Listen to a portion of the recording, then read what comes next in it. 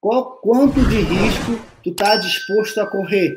A gente tem um nome bonito no mercado financeiro, que é o conservador, que é o moderado e que é o arrojado. Tá? O, arro, o conservador ele tem menos tolerância ao cagaço. O que, que é o cagaço? É tu colocar um valor e aquele valor desvalorizar por um período e tu ficar é, tranquilo com essa desvalorização. Tu sabe que faz parte e é característica de determinados investimentos essa essa variação sobe, desce, sobe, desce, tô rico, tô pobre, tô rico, tô pobre, tô rico, tô pobre, tô rico, tô pobre. Então o conservador ele tem menos tolerância ao tô rico, tô pobre.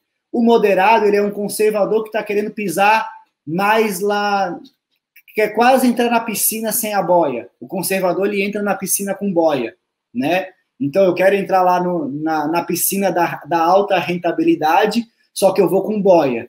O moderado, vamos dizer que o moderado, ele está entrando agora só com uma boia só.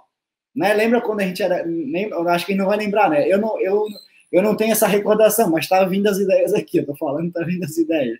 Aí o que que acontece? Tu, conservador entra com duas boias, moderado ele vai entrar com uma boia só, né? Ele vai, ah, tô, tô indo lá na, nas ações, né? Mas eu sei que vai oscilar, mas eu sei que faz parte, eu já meio que estou entendendo. E o arrojado, ele já está começando a aprender a nadar. Ele já não está mais com boia nenhuma, ele já está mais confortável com as variações negativas ele sabe que faz parte e está tudo bem. E aí tu tem que montar um conjunto de investimentos adequados ao teu perfil, levando em consideração a tua idade, quanto de dinheiro tu tem,